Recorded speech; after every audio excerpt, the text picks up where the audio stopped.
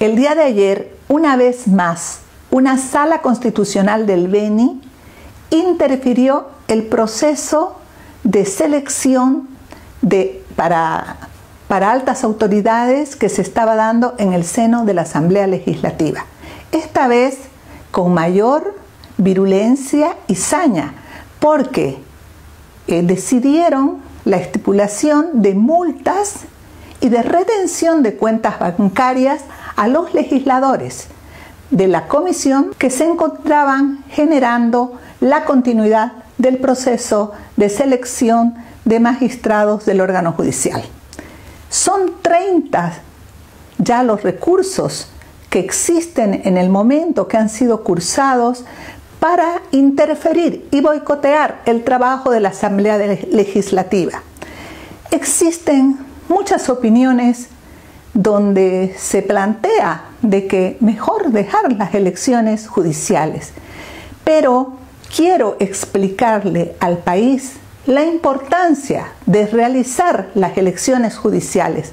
no solo por las elecciones judiciales en sí, sino por lo que representan a nivel de cumplimiento de la ley,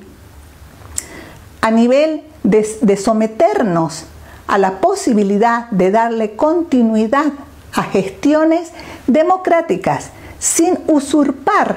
poderes y sin deteriorar y manipular instituciones.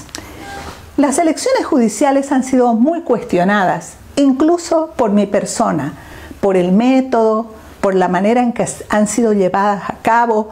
pero son procesos que debemos cumplir y no porque sí, sino porque en el presente revisten de una importancia muy grande en la medida de que debemos preguntarnos por qué el presidente Arce Catacora y su gobierno están generando este tipo de manipulación, este tipo de intromisión en la Asamblea Legislativa, boicoteando la Asamblea Legislativa y no permitiendo la realización del proceso de elecciones judiciales. Porque definitivamente no pueden manipular a tal punto por la composición de fuerzas que, existen en este momento y por el fraccionamiento intestino del MAS,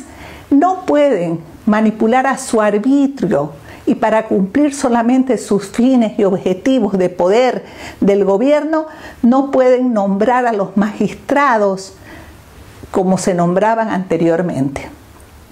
Por lo tanto, la preselección se está dando dentro de tres fuerzas, arcismo, evismo y oposición.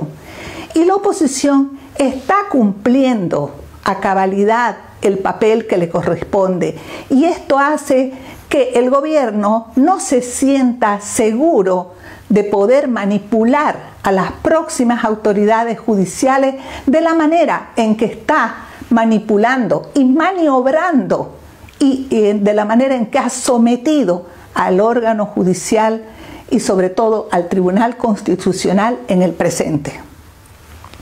Es fácil dar lectura a esta situación y considerar algo más que es en absoluto importante tener en cuenta. Si no realizamos elecciones judiciales en el presente, ¿será que vamos a llegar a elecciones generales en el 2025, si aceptamos y normalizamos el rompimiento constitucional, el boicot al órgano legislativo, la destrucción de instituciones,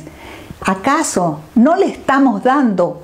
un extremo poder al gobierno como para poder seguir normalizando la arbitrariedad y el sometimiento de la democracia. Por lo tanto, tengan por seguro que si llegamos a elecciones con este órgano judicial, va a ser común generar todas las prácticas que se han generado en Nicaragua, en Venezuela y en Cuba. Ningún candidato de oposición que no sea funcional al gobierno va a poder seguir en campaña estas autoridades judiciales serán manipuladas y utilizadas para poder descalificar y desconocer y dejar fuera de carrera a los candidatos de oposición que no sean funcionales al gobierno actual. Por lo tanto, es fácil colegir, es fácil deducir que sin elecciones judiciales no habrá una gesta de elecciones generales que tenga una mínima, mínima posibilidad de dar oportunidades a quienes el gobierno considere que deben estar al margen de la posibilidad de tener una candidatura. Por lo tanto, por favor, pongámonos todos de manera eh, unánime exigiendo el cumplimiento de estas elecciones por un principio democrático. He cursado una carta al vicepresidente David Choquehuanca, presidente nato de la Asamblea Legislativa, también a los presidentes del Senado y de diputados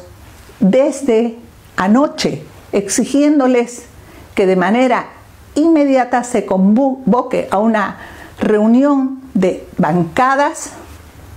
de todas las fuerzas políticas que integran el Parlamento para defender a los legisladores, para defender el órgano legislativo, la independencia y en esto, en este sentido, la vigencia de la separación de órganos del Estado y la democracia.